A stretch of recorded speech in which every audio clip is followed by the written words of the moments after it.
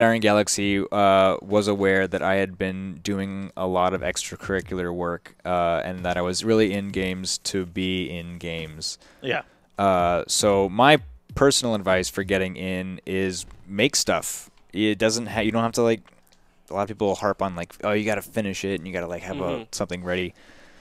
Make stuff. Uh, there's so many tools available to you now. I gotta figure out this pirouette issue.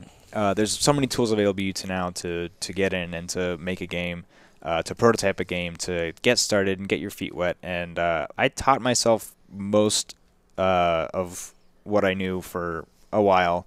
I had to relearn it at some point in order to get like this job. I my my coding beforehand was not something that anyone would want to hire.